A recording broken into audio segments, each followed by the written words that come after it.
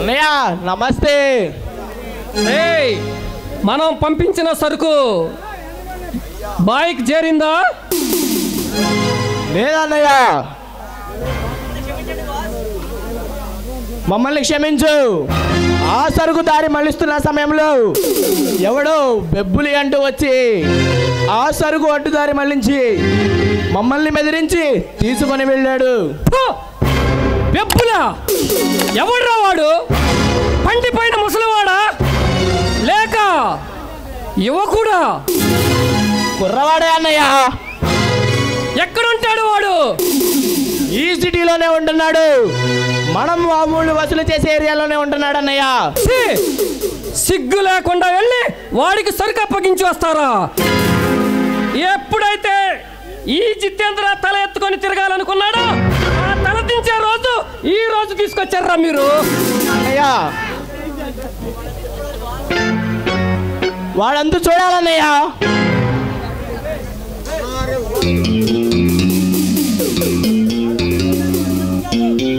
వాడి అంత చూడడానికి వాడి మనిషి కాదన్నయ్య. సింహం. సింహ. అయితే వాడు మామూలుగా చావకూడదు.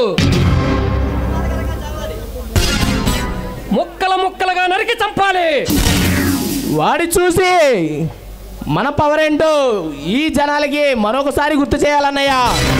మనం చంపే విధానం చూసి ఈ సిటీలోకి ఏ కొత్త ఆఫీసర్ కూడా వస్తానికి సాహసం చేయకూడదు. వాడిని సెంటర్లోనే కైమా కొట్టాలన్నయ్య.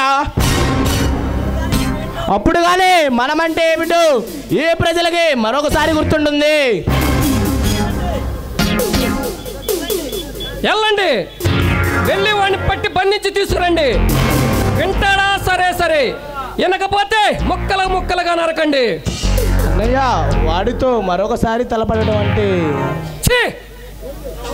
ఒకడి గురించి గొప్పగా చెప్పటం మన మన పవర్ తగ్గిందా? లేక వాడి పవర్ పెరిగిందా?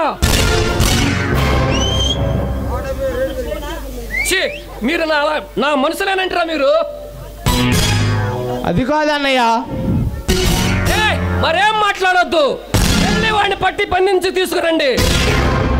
వెళ్ళండి.